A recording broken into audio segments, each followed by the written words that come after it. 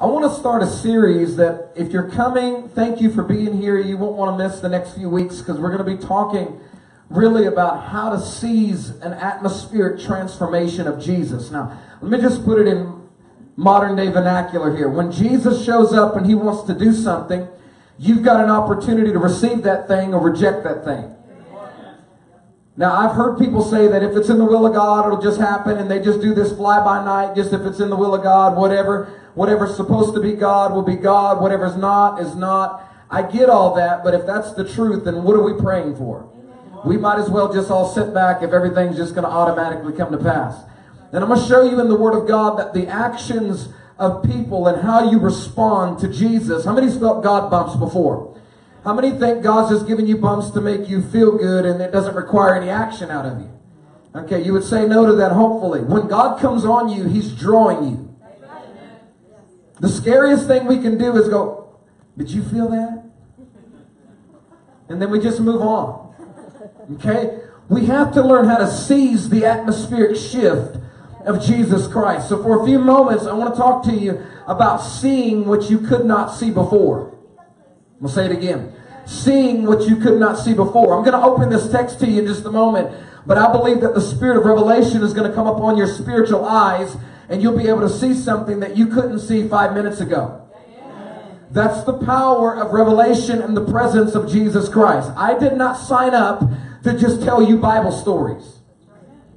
I'm here because I believe that God wants to show up and give us revelation out of His Word. And when revelation comes, His life comes into the atmosphere. So you may have come in here with a perspective, and here's what I'm charging and challenging every one of us.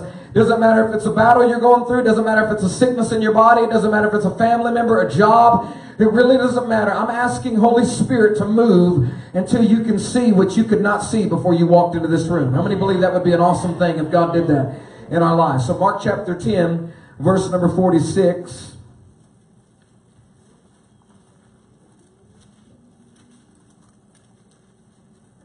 That's the wrong verse. I, I think. Let's go backwards for just a moment. Mark chapter 10. Mark chapter 10. What, let me read this to you. I want you to pray in Holy Spirit because I, I, I want to share about Bartimaeus, but I'm sensing I want to read something along with that that, that I think is going to help us. How many's heard that story of blind Bartimaeus? But I, I, I feel and sense as, as, we look at this next text that sometimes when you flip to something, you got to go with it. Okay, you got to go with that. But, but that's part of these eyes opening up. But I want you to pray right now that all blinders would come off because I think we're about to actually see something that we haven't seen before. And we've got to trust God. So if you can lift your voice just a little louder, I want to pray into this moment. I want to pray into this moment right now. Come, Jesus.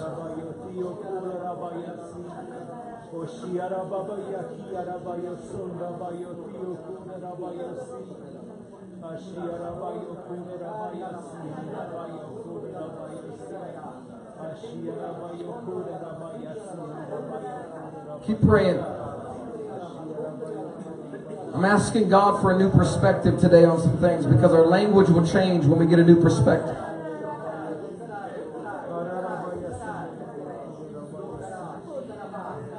We were in Mark 10, keep praying. But my Bible, I turned to Matthew 10. And I want to read something, but I want you to just keep praying. Do not think that I came to bring peace in the earth. This is Matthew 10, and we'll read about blind Bartimaeus in just a moment. But Listen to this. Do not think that I came to bring peace on the earth. I did not come to bring peace, but a sword. For I have come to set a man against his father, a daughter against the mother, a daughter-in-law against her mother-in-law, and man's enemies will be those of his own household. Let me know that that's, it's crazy to think about this, but I want you to keep praying. And I'm not going to preach on it. I feel like I just need to read it. He who loves his father or mother more than me, he's not worthy of me. And he who loves a son or a daughter more than me is not worthy of me. And he who does not take his cross and follow after me is not worthy of me. he who finds his life, keep praying, will lose it. And he who loses his life for my sake will find it. Father, I pray for every lost soul that's in this house right now, God, before we deal with this revelation. God, I feel a Holy Spirit pause to address the idea that if we found our life and we're happy, but we're not faithful to you, we've lost it. And God, I say that over every person in this house right now. Those that are okay and have found their life outside of these four walls and are content with it without Jesus Christ being the center, you say that we've lost it. But Lord, if we'll lose our life, we'll find it. But if we do not take our cross and follow you, we will never find you. So God, I'm asking you right now with just what's in Matthew 10, Convict every heart in this room, God, that is not ready to meet Jesus Christ. God, I pray that your presence would come, your power would come, your conviction would come, Lord. But by the end of this service, they would recognize the love of the Father, Lord, that you came to separate them from this world. And there's no more fun than having fun with Jesus Christ. And I bind up every lie of the devil. And I say right now, let them see what they could not see before that if they're happy without Jesus, it's a lie.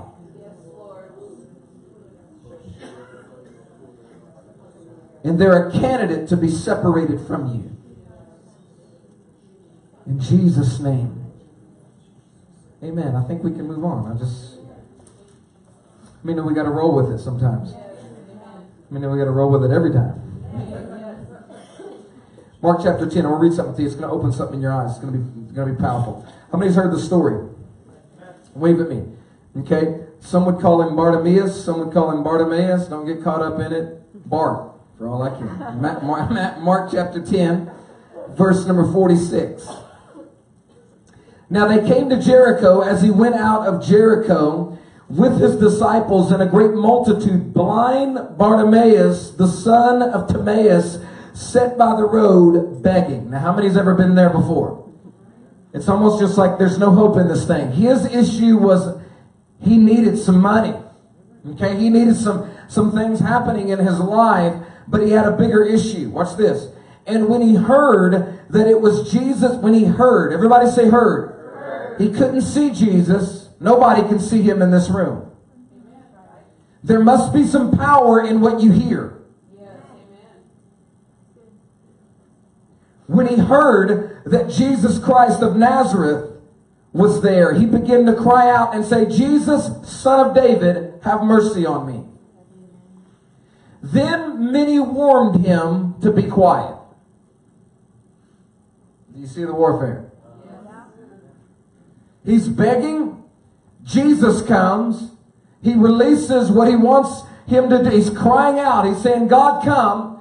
And then the critics show up. You are going to have to get past what people think about your walk with Jesus if you're going to live for Him for the rest of your life.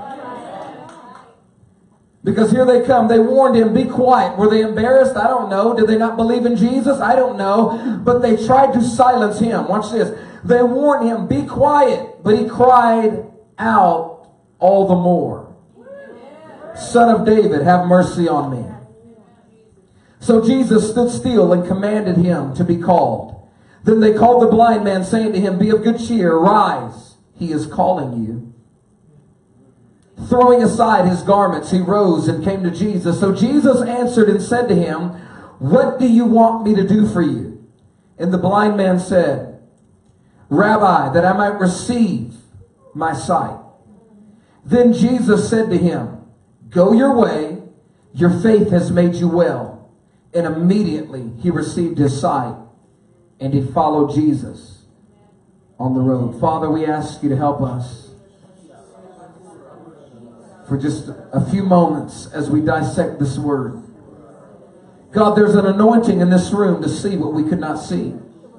And I don't understand why you chose this topic today, Father, but I sense that some are going to have some blinders fall off their eyes in just a moment. And so, God, I ask you to rip them down in Jesus' name. God, I pray that the spiritual eye becomes the only eye. The one that is driven by Holy Spirit. And God, I pray that the eyes of the enemy would fall in this atmosphere right now. God, that the desires of the heart would quake right now under the presence of an awesome Jesus. God, that we would literally be the, we would see the veil pull back, God, and we could step into a place of absolute freedom. That we could believe you for absolutely anything in this atmosphere, God. And our faith, God, not be challenged. God, once you show us your glory. In Jesus' name. Amen. You can be seated. How many, how many need a new eye on a couple of things in your life? Wave at me if I've got the right audience. You need to see differently for just a moment. I was thinking about this this morning, this week, and here's a couple things that jumped out at me. When Jesus is about to move, he wants to move in an atmosphere. He wants to move on that thing. Now raise your hand again. You'd say, I've got that thing that I need a new perspective on. He's going to begin to press and show himself. But I want to I want to I want to make this clear before we deal with just three or four things that are very simple concerning this text. You've literally got to lay hold of the miraculous. You're going to have to lay hold of it. It's not just if it happens, it happens. You're going to have to literally spiritually reach out and say, God, I want that thing in my life right now, immediately. Like if you want to live for Jesus for real, you're going to have to reach out when the conviction comes. If you want to be convicted of that sin, listen, all the days of your life where it's not just a momentary, momentary conviction that leaves when you leave the room, then you've got to literally grab a hold and accept conviction on your life as a normal way of living. If you want faith to become normal, when God releases the gift of faith, I mean, many's been there? You can just believe for some reason you've got the faith and you've got to take that thing and say, this is the new normal in my life. I've had an atmospheric shift and a transformation from Jesus and I refuse to lose it to the hands of the devil. It's, I'm talking about this idea that Jesus is going to begin to come and not just question things in our lives, but challenge us to a higher level to see from another dimension, and then you're going to have to accept it.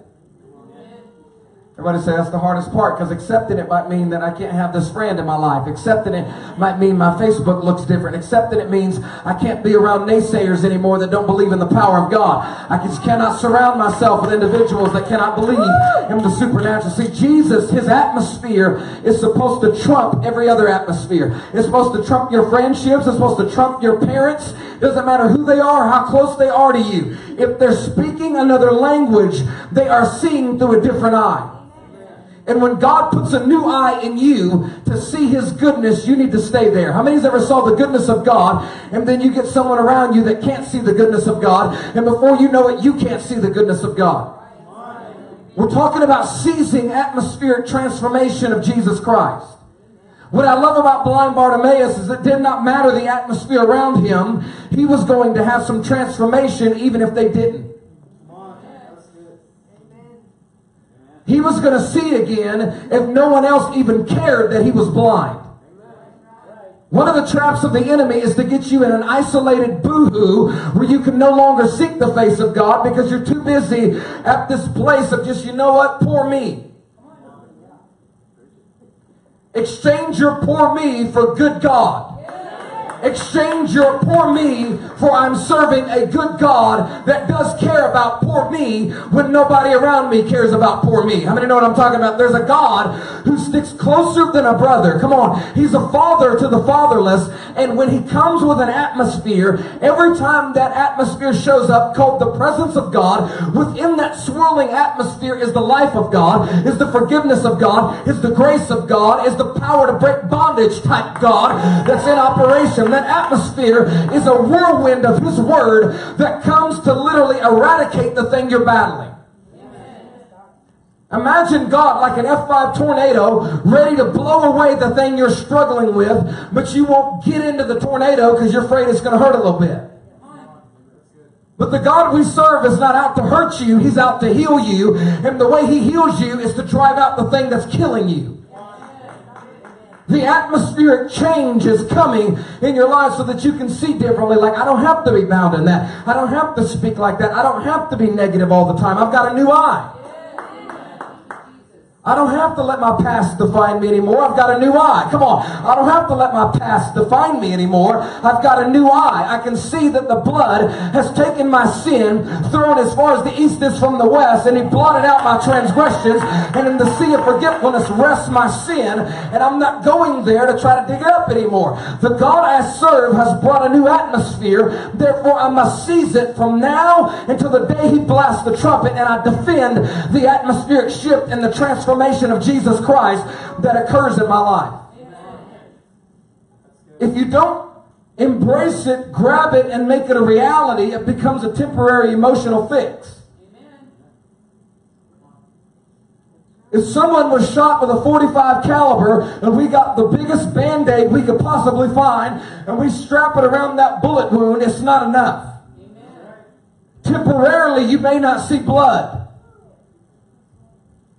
while their organs are bleeding inter- internally that you cannot see at all. Stop putting the band-aid on the bullet wound and get the atmosphere to come until it sets you absolutely free and then defend it for the rest of your life. And that's blind Bartimaeus. It doesn't matter the atmosphere. What I care about is the God who's setting me free. So I want, if you're taking notes, first thing I want you to understand is that Jesus Christ is coming to your situation. I know that sounds simple, but I want you to hear this. Religion's not coming. A preacher's not coming.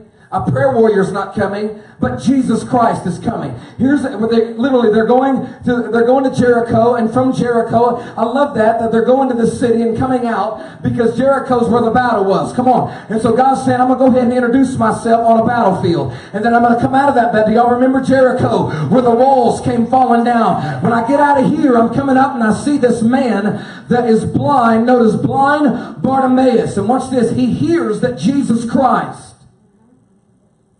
is here.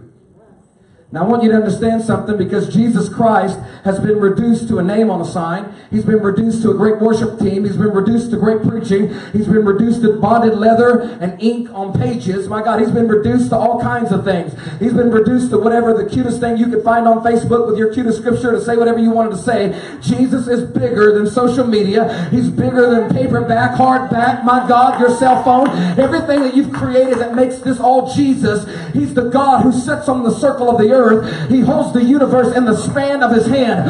Where can we build a house for this awesome God? He's the image of the invisible God. He was the firstborn over all creation. Before man was even created, he would be the lamb that was slain before the foundations of the earth. God looked down the scope of time and knew that you and I would be wicked, and he created a plan to deal with our problem. That's how awesome our God is. He is not intimidated by your sin. He's a God that's willing to strike that sin down, deliver you from it and set you free for all the days of your life. But you must embrace the atmosphere of holiness. Stop repelling it. You must embrace the atmosphere of healing and believe it. How many's had someone say something to you before and it's created an atmosphere? Like you didn't lie, but they say, you're a liar.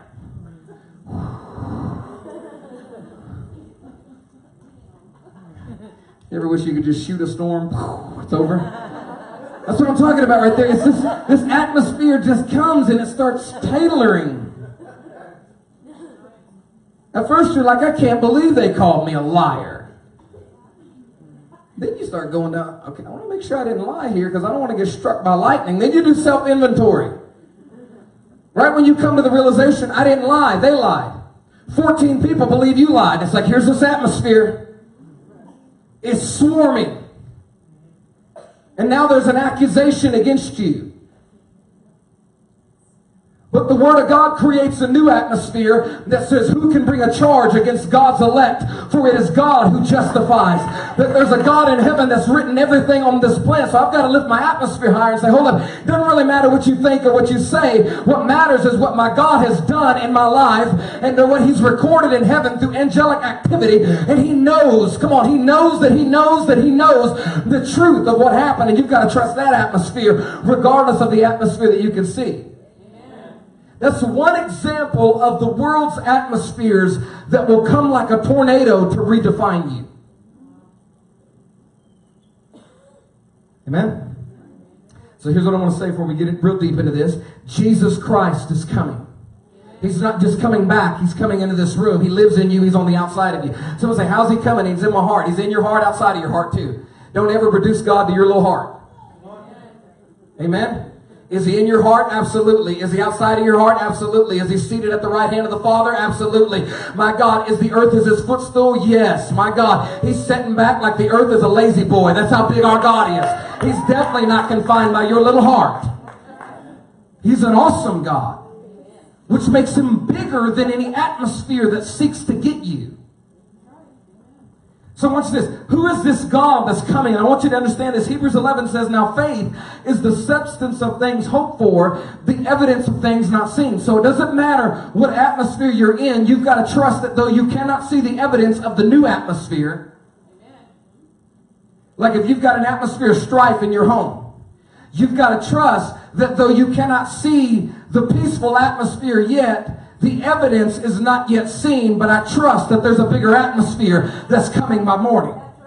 This is why God says things like, Your sorrow may last for the night, but you've got joy coming in the morning. There's an atmospheric shift. That night season can happen for a certain amount of time, but then the God factor shows up. The God of breakthrough begins to manifest himself. And here's what I want to get you to see that that atmosphere is the atmosphere you need to long for, pray for, believe for, and expect to be an operation in your life, regardless of what you're currently dealing with. Because if you just lay down in your current destructive atmosphere, that thing will send you as far as you allow it to take you?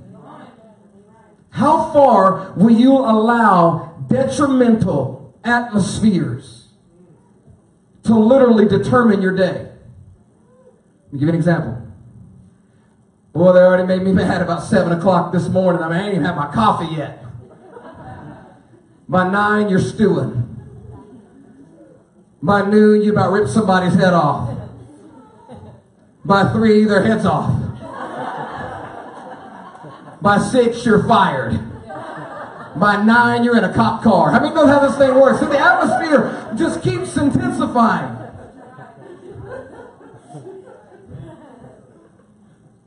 Because you embrace the thing that the enemy sent. And if the enemy can wipe out one hour, he'll go for two.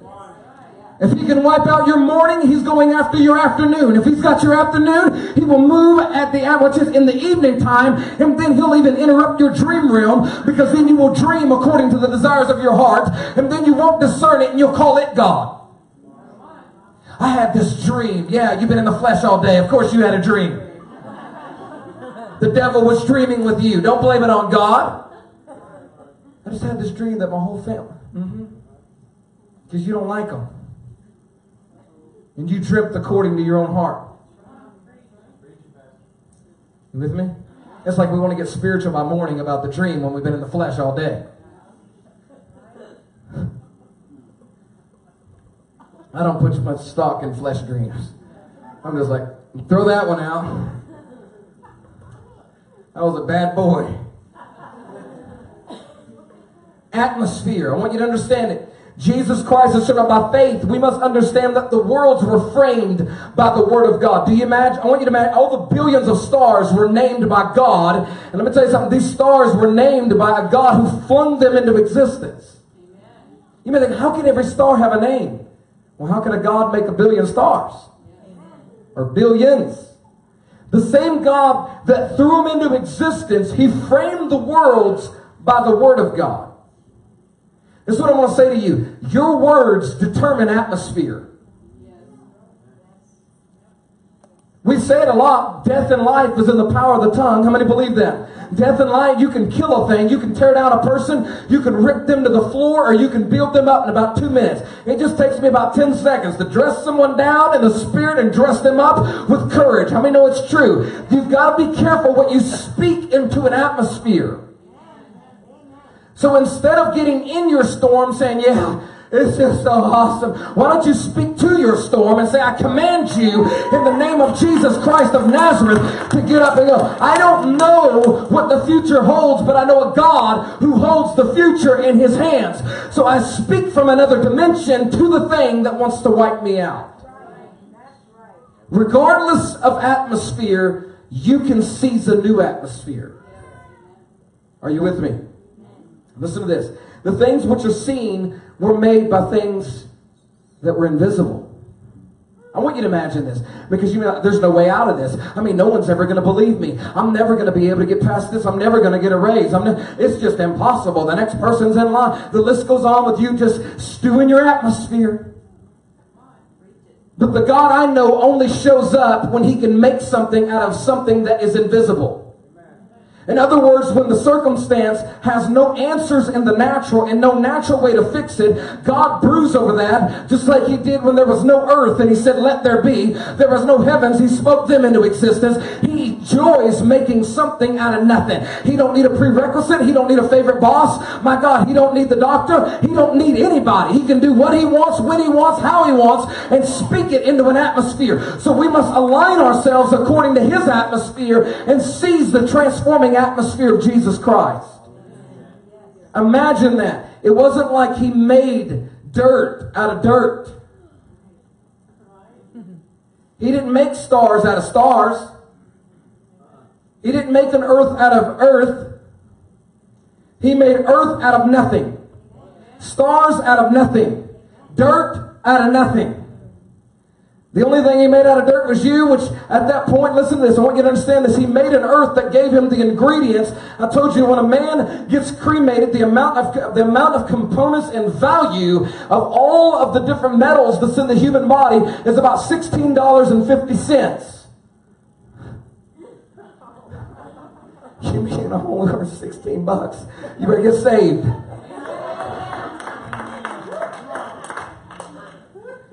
Because the Bible says there's a treasure within the earthen vessel. Come on, there's a treasure within the earthen vessel. It's called the spirit and the soul of a man. The most valuable thing you have is not your skin, not your body. It's a God that has literally activated your spirit man to get up and serve him all the days of your life and your mind, will, and emotions to be caught up to the plans of God. So hear this. Out of nothing, he made everything. And then out of that something, he started making something. Do you think he has enough ingredients to change your atmosphere? You can go to the showroom floor of the most awesome Mercedes. And you're like, man, that is amazing. They did an awesome job with God's ingredients. Don't forget that they took all his metals from all his earth, shined it up with all his stuff that made all this stuff. Everything came from the earth in his creation. This is why he says things like, I own all the cattle on a thousand hills. Okay, so I want you to understand the atmosphere that we want to get into our lives. Come on, it's bigger, it's greater, it's much more promising. And hear me, it's got a different language. It's got a different language. Here we go. Let's keep moving. Hebrews 11 6. Without faith, it's absolutely impossible to please God. You're like, man, I, I, mean, I like the stars and the moon and all this stuff you're talking about, but now you're telling me if I don't have faith, I can't even please Him. No, because without faith, but Jesus hasn't shown up. I don't see Jesus doing anything. You don't need to see anything. It's never been about your naked eyes. Do you believe he made the earth? You didn't see that. Do you believe he washed your soul and scrubbed it down and threw your sins into the sea of forgiveness? You didn't see that. You didn't see all your sins be airlifted off of your soul and body that was destroying you. The Bible says that even your sin will cause your bones to be destroyed and your body to begin to decay. I'm telling you right now, you didn't see God lift that burden off of you at an altar. You didn't see him turn on the tears in your soulish realm. You didn't see the activation of any of that, but was it true or not? Atmosphere is never about you seeing first. Faith is the substance of things hoped for. How many is hoping for a better atmosphere wherever you're at? Come on. It's what you're hoping for. The evidence, come on, if you're on a crime scene, they want evidence. The evidence is not yet seen the evidence of my miracle. And this is where the old school kind of grandmas of the faith, which I love dearly, have this thing right. They used to say things like, you know what? Jesus is my healer and I'm healed.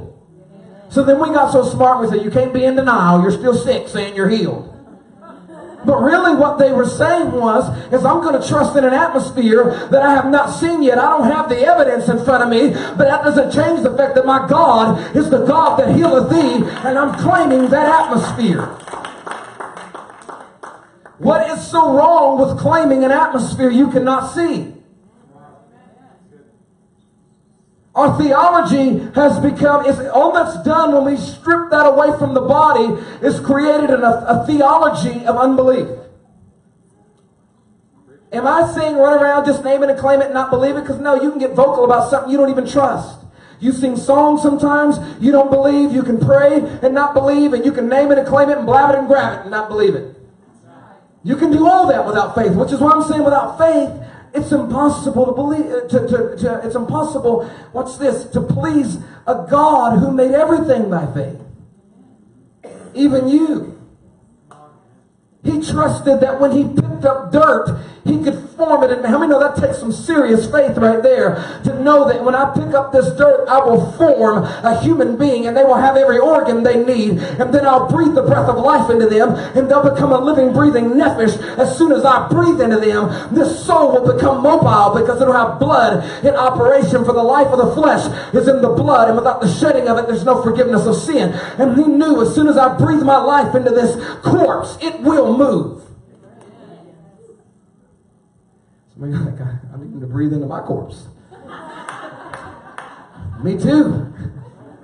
Won't you just accept the atmosphere of heaven? We're talking about a place that you're never, you, you'll see the after effects. He says, wherever the wind blows, come on, the Spirit's like the wind. Wherever it blows, you don't see the wind, but you see the effects of wind. Like if a crazy gust of wind, little microburst come through here, it has the potential to start picking up trash cans, all kinds of stuff. And before you know it, those trash cans are at another address. And no one can say, I saw the wind. All you saw was the effects of its power. You are never going to see exactly how God takes organs while the surgeon's there and he don't know what to do, but he takes one last x-ray and something begins to change. I understand not every person on this planet has gotten healed, but you do not have the right to try to debunk the power of God's healing when he formed man from the beginning and he's still healing people across this entire planet. No one reserves the right to question an awesome God. Not me, not you, not anybody on this planet. He's a good God.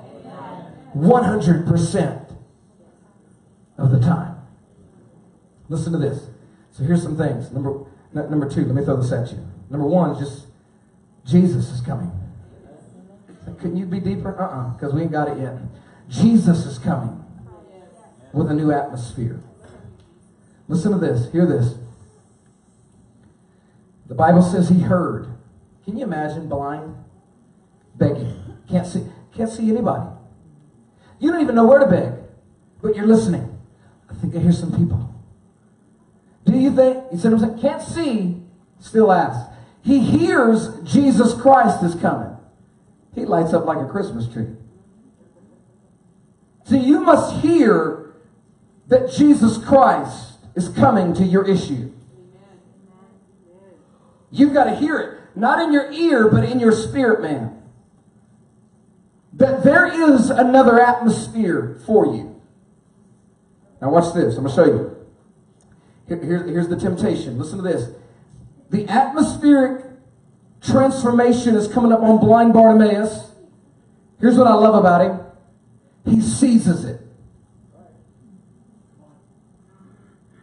To seize means to lay hold of very suddenly, very quickly, very violently. In other words, Jesus is here. I'm not about to miss my breakthrough. See, we have altars and Jesus is here and then we get hungry. Jesus is here. We got to go take care of this. You start praying in the morning. Jesus is here. The phone rings. Jesus is here. My God, text message. Jesus is here. A crisis shows up. All of a sudden, there's always those things that seek to interrupt the Jesus is here moment. When Jesus is here to blind Bartimaeus, he seizes the atmosphere immediately. I'm going to show you something. I love this about blind Bartimaeus. You know what he could have said? Could you give me some money, Jesus? I mean, I'm out here begging. I mean, I know you got money. You're God. Give me some money, Jesus. In the presence of Jesus, he could now see what he could not see before. That he had a need that was deeper than his begging moment. When he was begging, he could not ask anybody because it didn't matter how much money you gave him. No amount of money could open blinded eyes. No amount of money could open blinded eyes. So when he heard that a new atmosphere was here, that Jesus was in the atmosphere, that he was in the region, that he was coming near him, it literally triggered, triggered a new way of asking. And instead of saying, Lord, I want money, he starts crying out for a deeper need. And this is what I want to say to you this morning.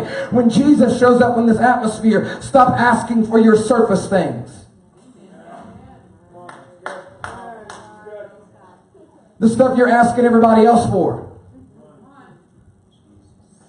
Someone's like, could you pray for me? Could you pray for me? Could you encourage me? Could you encourage me? Jesus shows up, could you pray for me? Could you encourage me? Well, my God, you ask human flesh for all that all the time. The beggar went from asking the money, hold up, I've got a deeper issue here. I now have an opportunity to seize atmosphere. There's a God in the room that can make the blind see, the lame walk, the deaf hear, and the dead rise. He's still a God that does it across the earth. Whether you've gotten your breakthrough in that area or not, He still does it, and He holds the deed to this planet. I want you to imagine that in heaven, God holds the entire deed to this universe and he can orchestrate anything. When God don't do what we want sometimes, we start shrinking God in our minds. He must be little. You're taunting God and you're mocking God in your spirit. Don't you ever read your circumstance and shrink a God who made you. He's big when he does for you and he's big when he doesn't do for you. The mere fact that you're breathing air, he's worthy of praise. Let everything that has breath praise ye the Lord. Always, 24 7, 365. My trial does not determine my praise. He's good. Because listen, when it don't go your way, how many's been there? Come on, when it don't go your way and don't go the way you want it, how many know you still need God now? You still need your emotions healed. There's always a chance for the God factor to show up, but the day you kick him out, expect to be bound and bitter for a very long time. Because only God of heaven can strip out bitterness and remove the hatred and anger and unforgiveness that some even develop towards God when he does not respond the way they wanted him to. Got an opportunity here. Is God big? Is he good? Amen. In trials, is he good? I promise you need him in trials. You need him more. You need him more in the trial when you don't get your miracle than you did when you got your miracle. There's always a place for the atmosphere of heaven to come. I want you to hear this. So here's blind Bartimaeus. I want, I want, you to imagine this. He's a blind beggar, no amount of money, no resources, nothing could change anything. And, and, and I felt like Holy Spirit spoke to me. He says, Tell the people in a moment, I want them to start crying out from a chamber place of their heart in areas that they've never asked Him to do something before. Maybe you asked Him a long time ago and you didn't get it. But I want you to let out those things that man can't fix. Come on. Let out those things that emotions, none of this can fix. This atmosphere in the earth actually cannot fix the wounds of your childhood. Just cannot. You got to have a new atmosphere. You got to have God showing up. So I want you to start asking for some of those things in just a moment. You cannot be content in just receiving what man is able to do, even when God does what man is capable of doing. How many seen that before? Man could have walked up and get, you know, someone you know could have blessed you financially, but they didn't. But God showed up supernaturally and did what man could have did. That's awesome. But there's then those things that no man can do. And that's the story we're talking about. No amount of money could give him sight back. No amount of money can make a person want to believe again when they're hurt and mad at God. Only the atmosphere of heaven can put faith back into a man that can't believe God anymore. Only the Holy Spirit can produce conviction in you when your mind has been seared as of a hot iron and you want to do right, but you keep doing wrong and you keep living for this world. But only God can rip away the searing of the mind until you can hear God again. No one can counsel you to a place of conviction. Only the atmosphere of heaven can convict you in the courtroom of heaven and declare you guilty until you know that you're worthy of a penalty. But God shows up and places the payment for your penalty and says, do not not give them a penalty. I have paid the price for their freedom. Only God can do that. Only the atmosphere of heaven. So I'm, I'm telling you, there's some things we're going through that we keep looking to man. It's like I would love to have unlimited resources to shake a nation. I also know that about every preacher in this nation is praying for that one little old lady that's going to put them in their wheel. Well, the lady's going to go broke after all those preachers. There's not enough. And that one little old lady we all praying for. We need the God of heaven to come with resources that are supernatural to push kingdom, something bigger than one person. Are you hearing me? I'm here to literally cause you to see in your spirit things that you've really desired from God. And to see which you could not see before, is the actual prayer he's wanting. And he's unafraid of. He's not afraid that you're mad at him. I'll say that again. He's not afraid that you're mad at him. He's not afraid that you feel like he hurts your feelings. He's not afraid of all the people that have betrayed you and the effect that they've had on your life.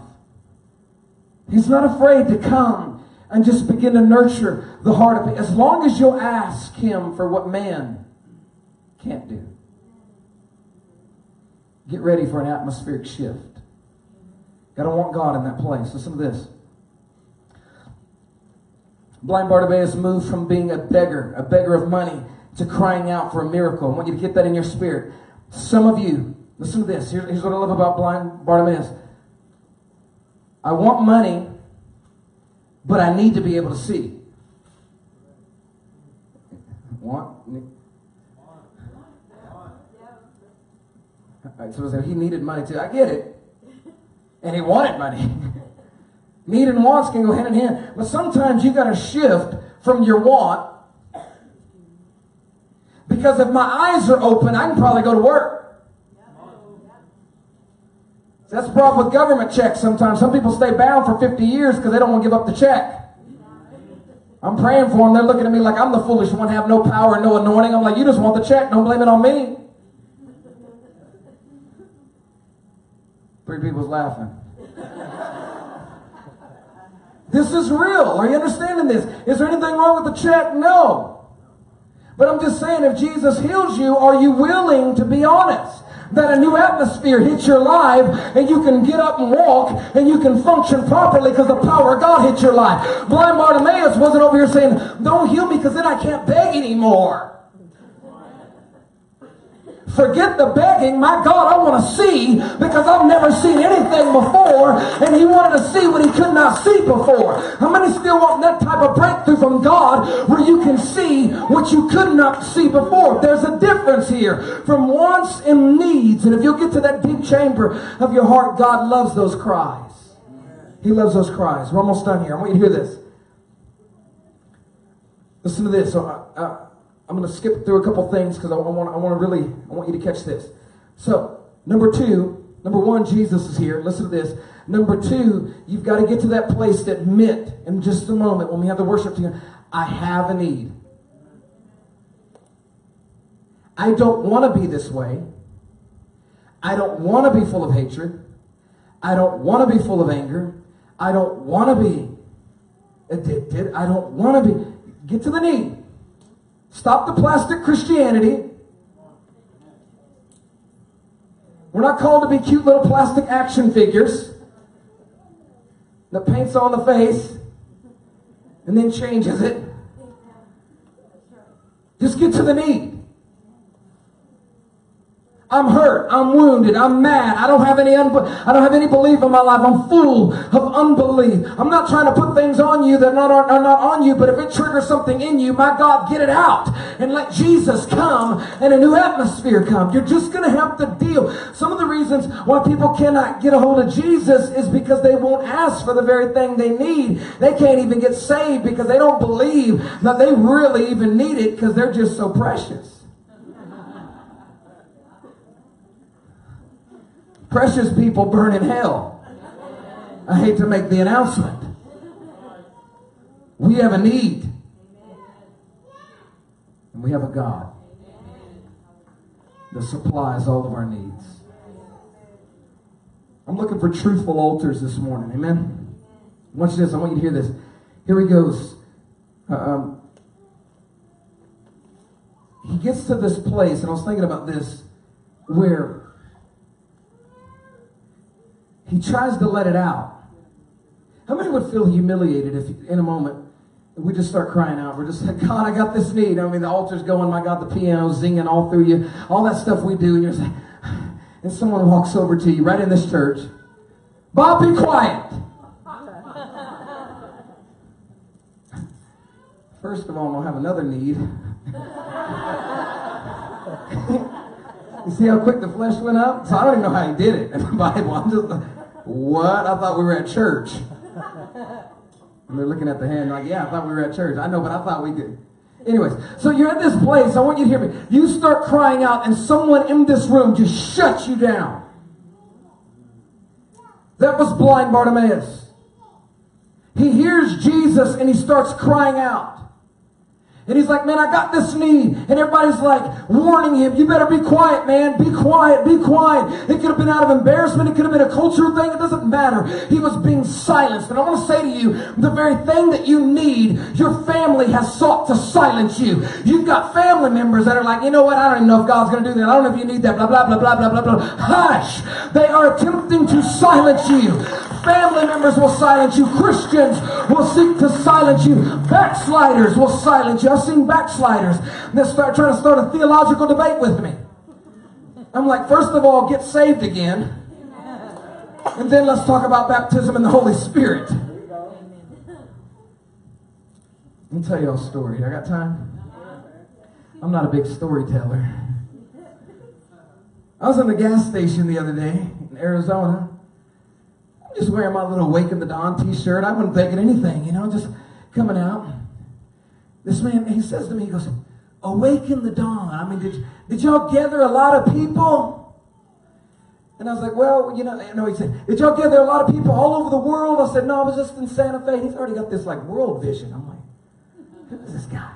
So anyways, he, he, he begins like, goes, man, that's awesome. I said, yeah, we did worship and prayer and it was awesome. Very just casual. He walks out. And here comes the skeptic, the silencer. And I'm coming out, he's like, What do you think God thinks of all the extinct animals?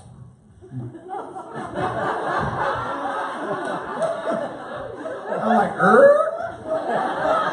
I had a spiritual whiplash right there. I'm just like, man, I was in the spirit until I met you. Now my neck's hurting. Just like that. Not hello, I said, He made every one of those animals and He knew each one of them would be dead.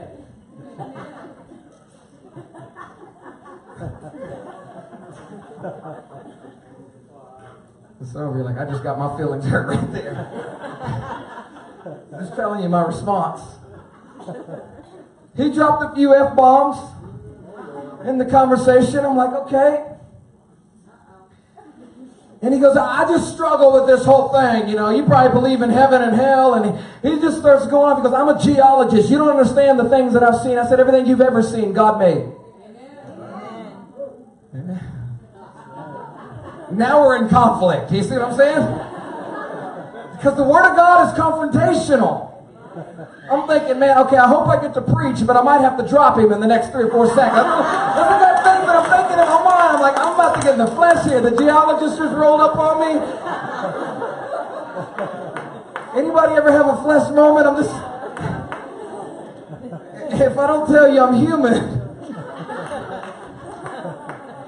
And he keeps going. That's what he says to me. He's just going the whole thing, and he just can't get it. He has some good born again Christian friends, and they live this good life or whatever. But I just don't believe in it. I just don't believe in God. But let this happen. And we've got all these dumb people that are destroying the earth, and this. he's just going. And he goes, you know what? I'm gonna make a deal with you. And I said, okay. Let's have this conversation again. Because I promise you, you're not right on this. I want to have this. Con- I'm thinking he's going to give me his phone number. He goes, I want to have this conversation again when we're both dead. Everybody say atmosphere. I, I needed an atmosphere of heaven to come on. And it just came out of my mouth, I promise. You ready? I said, we won't be having this conversation when we're both dead because I'm going to be dancing with Jesus and you're going to be burning in hell so we can't have the conversation again. Unless you choose Jesus Christ as the way, the truth, and the life, no one will come to the Father unless they go through him. Complete silence. It was like an atomic bomb just hit the store right there. He turned around and he just walked off and it was just like... I don't know if this is effective witnessing. I'm just telling you that sometimes you need the atmosphere of heaven to come. And that's all I can think of. Y'all mad at me? I'm trying to confess my sins among my brethren. Working in my sermon there.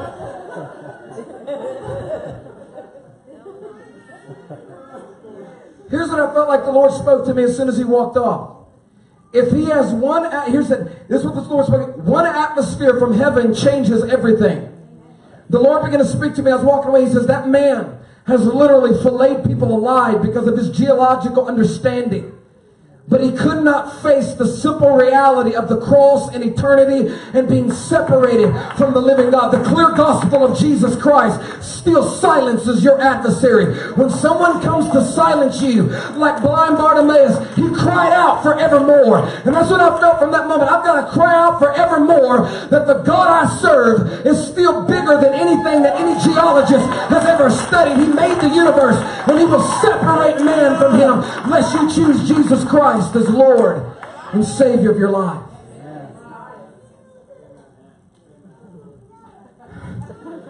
That's what I got out of it. I didn't see everything went right. I said,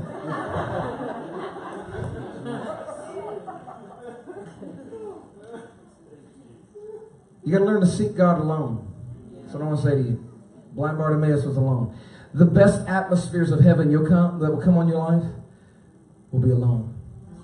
Stop waiting for people to rally you, encourage you, dream for you, tell you you're the greatest thing since toilet paper. It's not going to happen. They're not going to encourage you. No one is going to really help you except for what the body of Christ is supposed to be. And we haven't done a very good job of that. So you know what? The best thing I got right now is me and Jesus Christ on my face because you've got to learn how to serve him and seek him alone. This is the problem with Bible colleges sometimes. Even when revivals have broken out, they start chapels and these students come and they go because they want to be great for God and they know how to find God in that literal that that infused atmosphere of fire. Everybody's praying, everybody's laying hands on the sick. They want to go to this school of the supernatural, that school of the supernatural, and they've got a structured way of meeting God. You got to be at chapel at nine. You got to read your Bible this amount of times. You got to do this, and it's all awesome. But here's the problem: if they don't take the discipline with them, one naysayer shuts them down in one moment because they're not in a bubble of encouragement all the time. Blind Bartimaeus was not in a bubble of encouragement. No one wanted his sound, but he wanted to see, and so he released a sound that was far greater than what he could see, and then a few moments later he could see. That is the power of God. You've got to seek him when no one will help you seek God.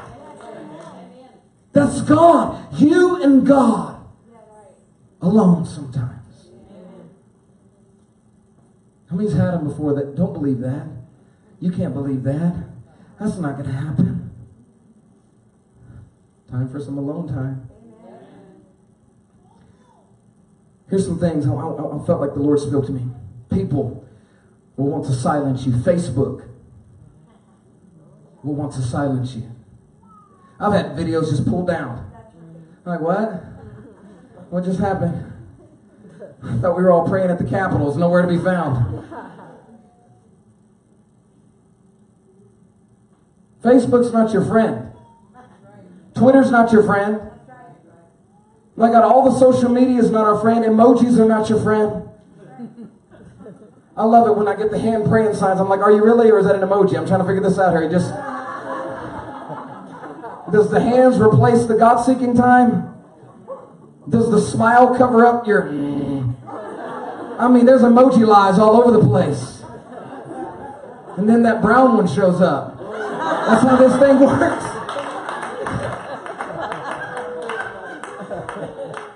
We need God. I'm telling you guys, we need an encounter.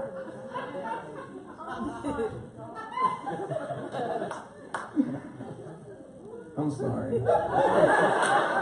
Some of you are like, he's done quenched it. He's got no anointing today. I just can't handle this. I'm starting a joke thing.